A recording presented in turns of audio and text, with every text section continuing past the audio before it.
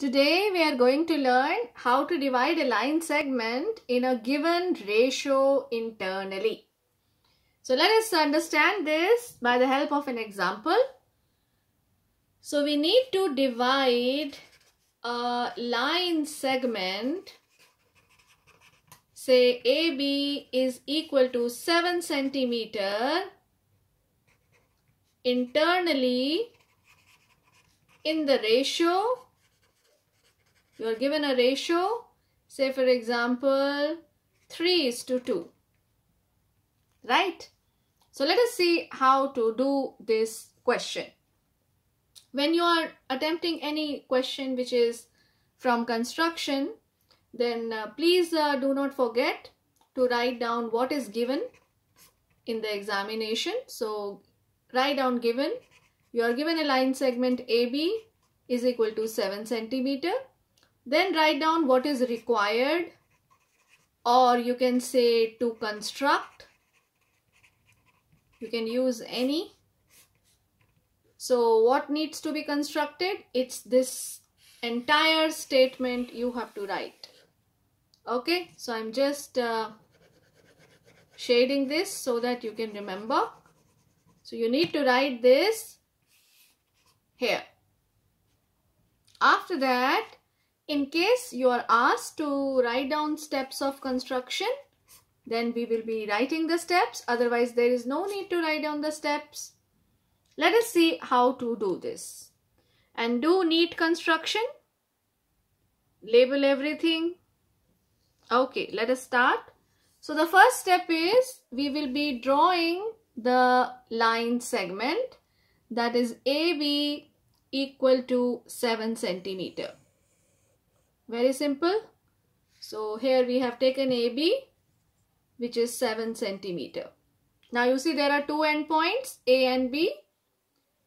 Like we did in the previous construction when we divided the line segment into number of given parts.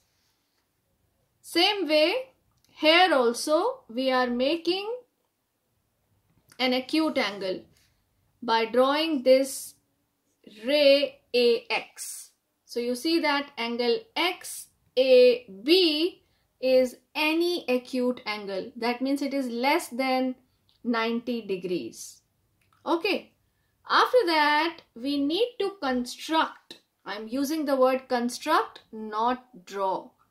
So after this, at B, we need to construct a ray BY such that angle XAB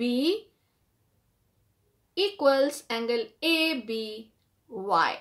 Okay, let us see how do we do this. So with A as center, you draw an arc and this arc intersects AX at P and AB at Q. Now with the same radius, with B as center, draw an arc and this arc intersects AB at point R. Now measure. What is this PQ? You see how we do this? Put the needle of the compass at Q and tip of the pencil at P. This is how you measure PQ. Then with R as center, draw the arc on the previous drawn arc. So this will intersect this at a point and let this point be S. Now we can join this BS and extend it further to make the ray BY. And you will see that here in the process we have got two angles. Angle XAB let us label this is angle 1 and angle ABY this is angle 2 and these are alternate interior angles and they are equal. So this means AX is parallel to BY right? Till this everything is same like we did in the previous construction. Now we need to divide AB. See the objective. divide AB internally in the ratio 3 is to 2. Now look at this 3 is to 2. Look at the numbers 3 and 2. What is 3 plus 2? Yes, it is 5. So what we will be doing is you can choose any radius and with A as center on AX draw the arcs such that you get five parts which are equal. Here AA1 is equal to A1A2 which is equal to A2A3 which is equal to A3A4 and this is equal to A4A5. Now you see these parts AA1, A1A2, A2A3, A3A4 and A4A5. So these are how many parts? 5 parts. Why we have done 5 parts? You see here the ratio is 3 is to 2. So 3 plus 2 is 5. So we have divided this on AX. We have taken the 5 equal parts. Mark the 5 equal parts. Okay. Now same way with same radius. Start from the point B with B as center and draw the arcs such that B, B1,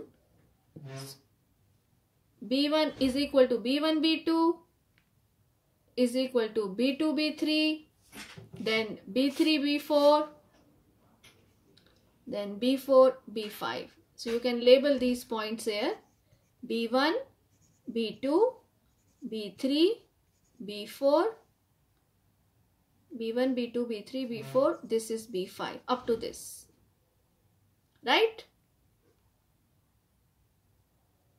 So you can write it here.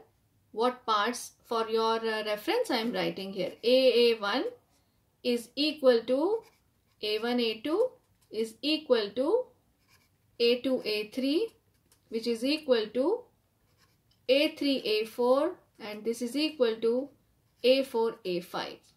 Similarly here if you notice BB1 is equal to B1 B2 is equal to B2 B3 which is equal to B3 B4 which is equal to B4 B5. I hope up to this everything is clear. Now look carefully the ratio. AB is to be divided in the ratio 3 is to 2.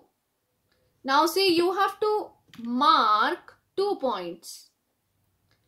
So basically from A, see the third point. So this is start from A. So A1, A2, A3, 1, 2, 3. Put a dot. From B, mark the second point. B1, B2. Okay.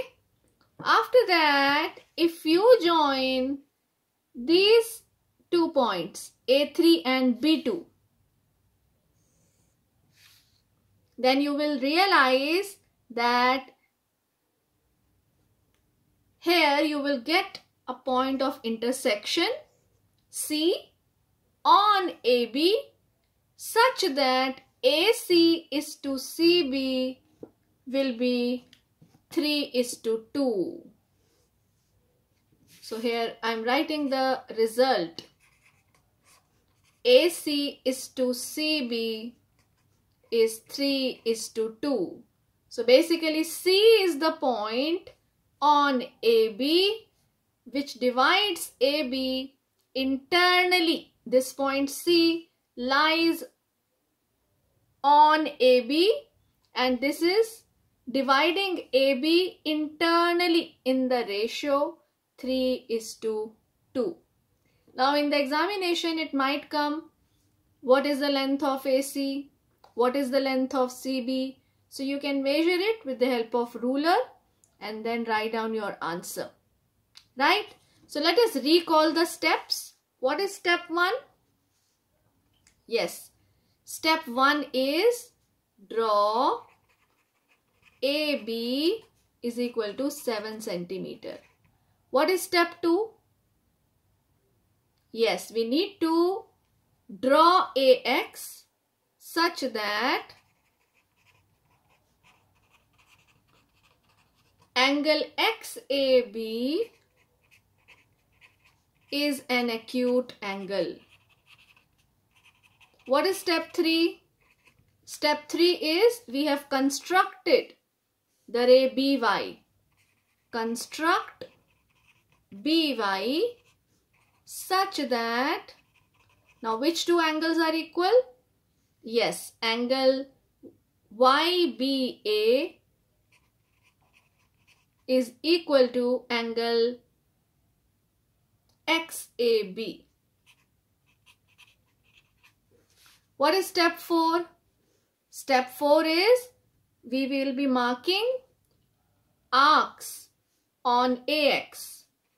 So mark arcs on AX such that how many arcs we have marked? Yes, mark, you can write it here. 5 arcs on AX such that AA1 is equal to A1A2 is equal to A2A3 is equal to A3A4 which is equal to A4A5.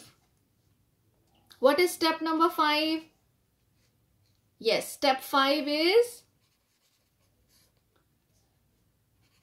mark 5 arcs on BY such that BB1 is equal to B1 B2 is equal to B2 B3 is equal to B3 B4 is equal to B4 B5.